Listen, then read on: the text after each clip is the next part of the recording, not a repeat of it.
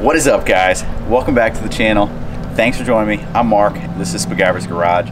And today we're out here kind of doing a little bit of prep work on the Supra for the next modification. Now I've got almost all the parts for this, uh, but I am missing a bracket. So uh, what I'm doing today is a little bit of plumbing, a little bit of electrical, getting this thing set up so that when that bracket comes in, we can drop it in, get this thing going, and start tuning for what we've got right now. So why don't we take a look at exactly what it is that we're doing and uh, kind of go through why. I think that's an important piece is why are we doing this? Okay, so here's what we're doing today. We are installing, or at least plumbing, a meth kit. So I have here my two injectors and a T.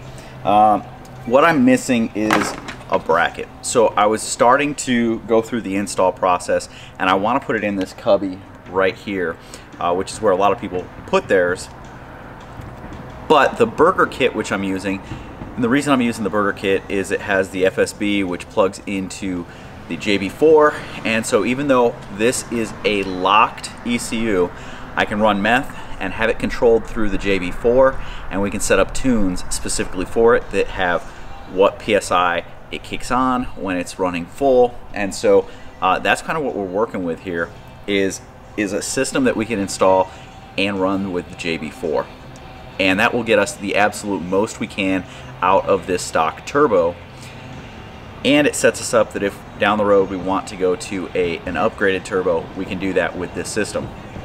Now there are some advantages to going with a water methanol injection kit. A lot of people just call it a meth kit. It's a what I'm going to be running is a 50-50. It's Boost Juice is what I've, I've got right now, but I will probably pick up an M1, a jug of M1, five gallons, and then mix it up myself 50-50 with distilled water, uh, and that's going to go a lot further for the cost. But one of the advantages, and one of the reasons I had looked at this to begin with, was this is a direct injection engine. And one of the problems that direct injection engines have is that there's nothing cleaning the valves. There's nothing on the intake side spraying in. So port injection uh, solves that problem by spraying in and cleaning off the valves and you don't get that carbon buildup. Water methanol injection is another way that you can do that and it sprays in. You can go a, a few different places of where you're actually going to be injecting the mixture into your system.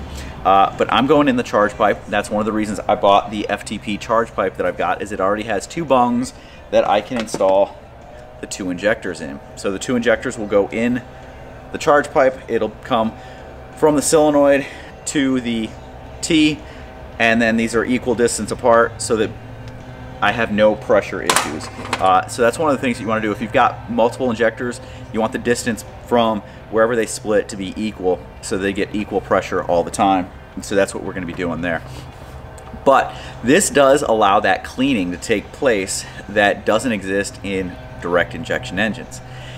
The downside to the direct injection is that after a while, somewhere between 60 and 100,000 miles is what I've seen BMW uh, owners experience and some of the Volkswagen owners and others that have direct injection engines is that they have to get the intake taken off and then the head uh, has to be walnut sprayed. So uh, it's walnut blasted. So like bead blasting, sand blasting, but with walnut shells.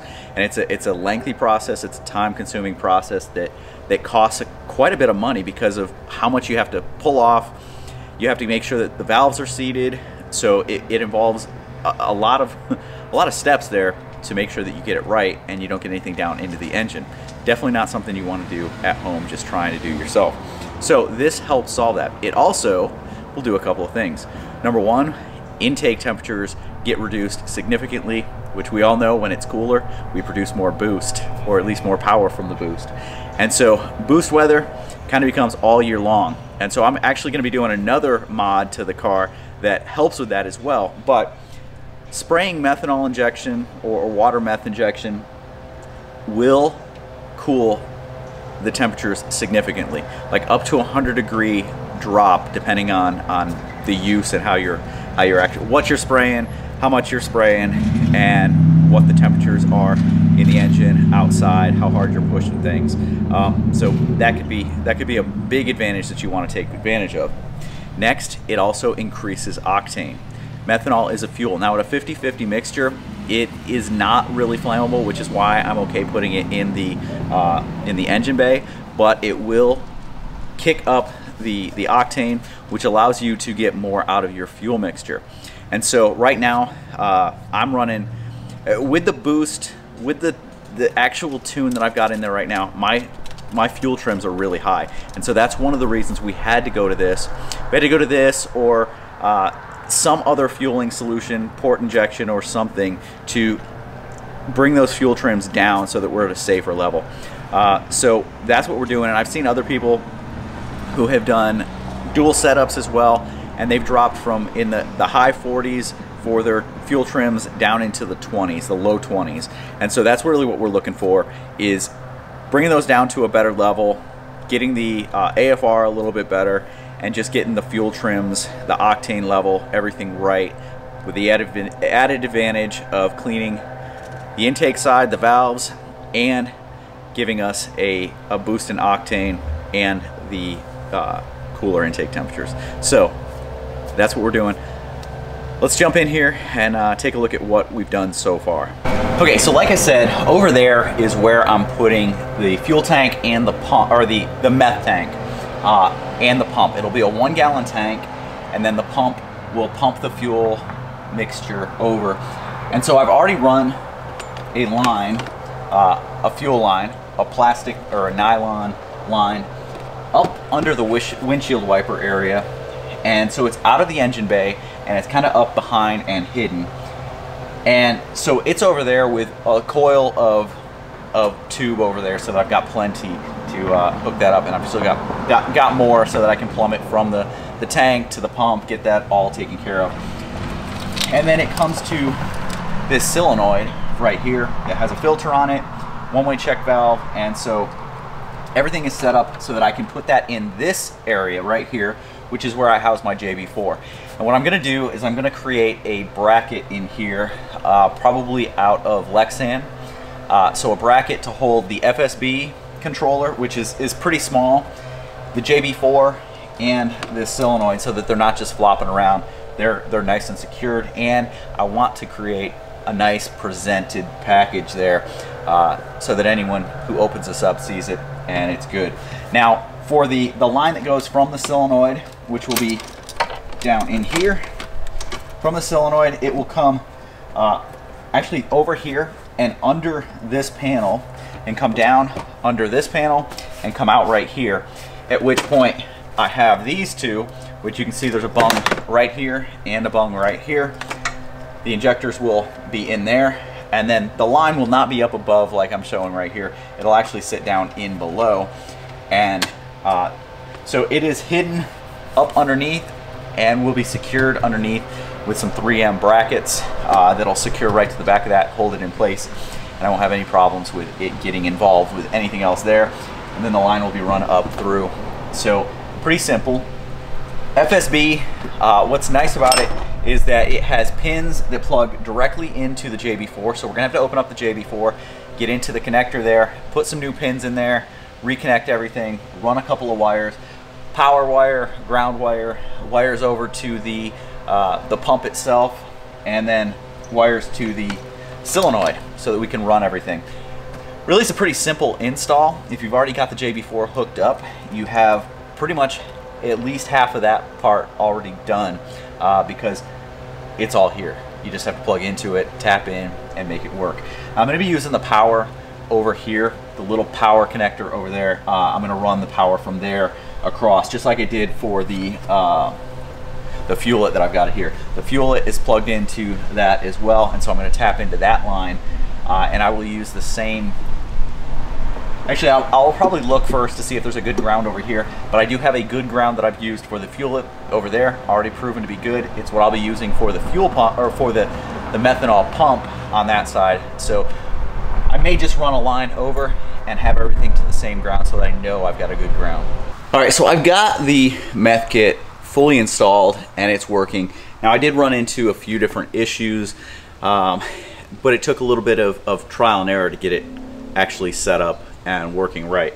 So I've had it on the car now for about two weeks. Uh, I've run through almost two tanks of boost juice, uh, but I've also gone out and bought 100% methanol that I can then mix up myself or run uh, different concentrations because that's a 49-51, so 49% methanol, 51% water, so it's under that 50-50 ratio for the boost juice. Uh, but we may want to go up to as, as high as a 75-25.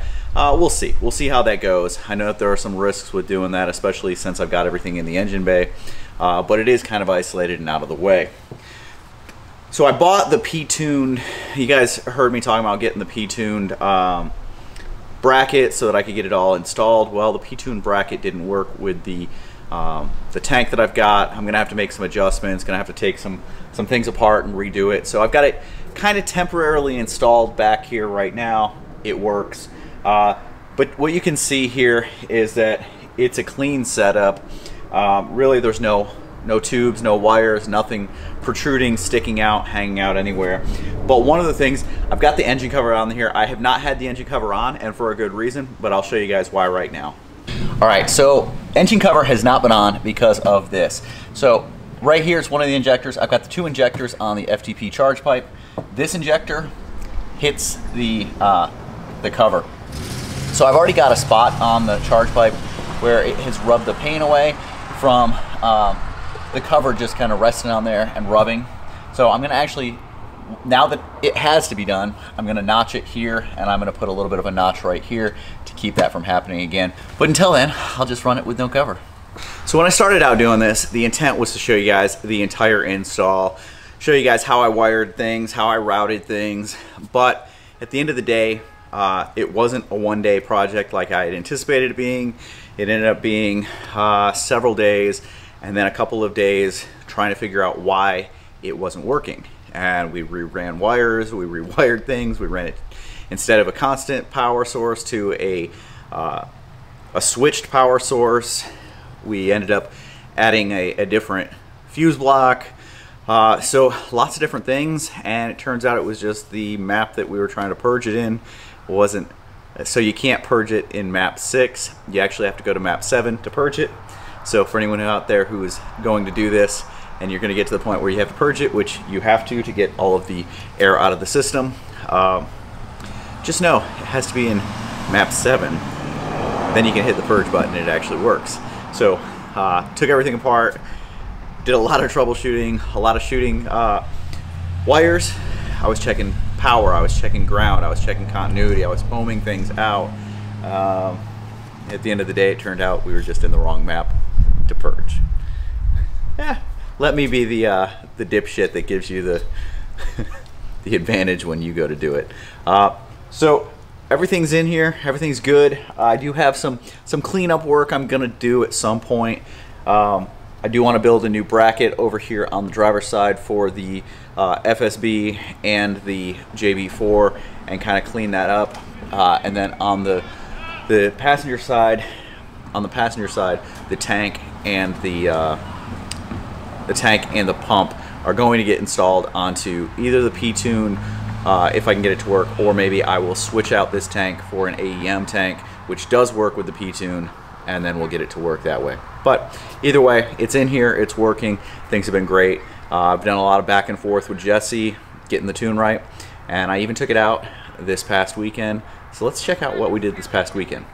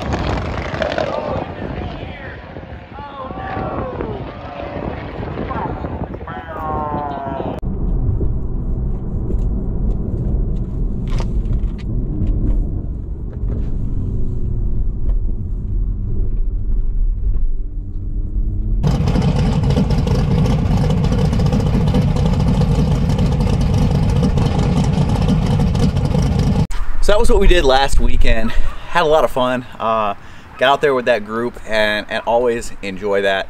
I did want to show you guys the spoiler now that it's been on here. Uh, got everything cleaned up. Did a lot of cleanup work, polishing, buffing, getting this thing right where it needed to be, and then ceramic coating everything so it is it is super clean and set up just absolutely perfect right now. All right, guys.